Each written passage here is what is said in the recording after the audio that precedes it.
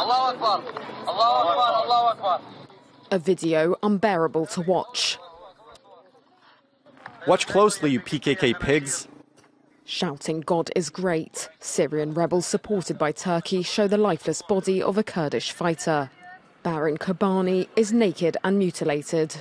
The rebels have been accused of cutting off her breasts, which they have denied. The video has sparked fury in the north of Syria. Not the Islamic State group nor Erdogan and his cronies will break our spirit. We'll fight until our last breath. We will avenge Barin's death.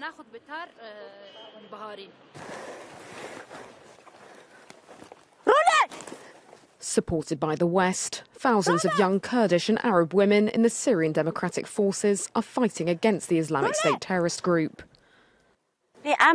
We're following the path of our martyrs, Arin, Avesta, and Barin. We're training and fighting to assert the role of women.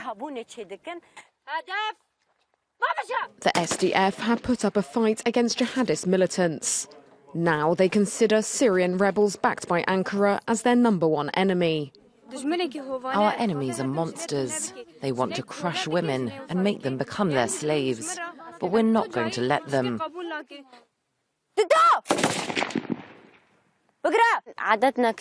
There are lots of us. There are training camps like this across the region.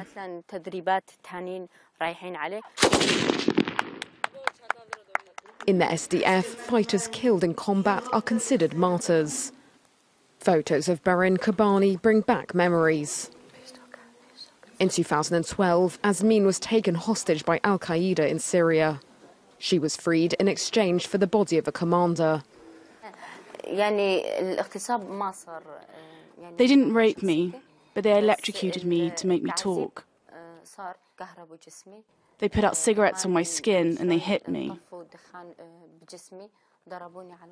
It was really awful, but I didn't give in.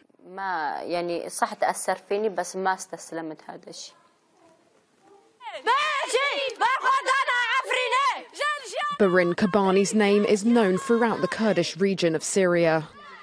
Women in the SDF in Afrin say they're ready to avenge her death.